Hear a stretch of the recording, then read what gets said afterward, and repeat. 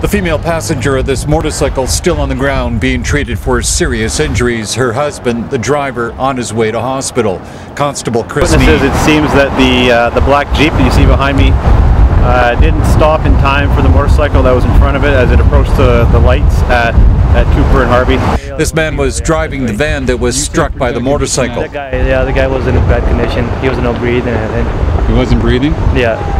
There were several witnesses to the crash, including Dan Johnson. saw the uh, the black truck come screaming in and kind of didn't stop. Went right into the motorcycle and then into the van. The victim's son showed up at the scene. Oh, I just want to go see my friends. As the woman is taken to hospital, RCMP learned they're dealing with the first fatal involving a motorcycle this season. This is the first one of the season. Here we are, the first day of spring. Motorcycles are on the road, and uh, every driver on the road needs to be aware that motorcycles are out there now. Start looking for them. As police continue their investigation, more witnesses come forward, some saying they witnessed the driver of the SUV that hit the motorcycle talking on his cell phone.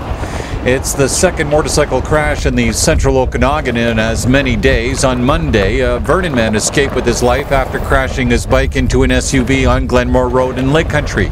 He was prohibited and trying to evade police. Kelly Hayes, Castanet Media.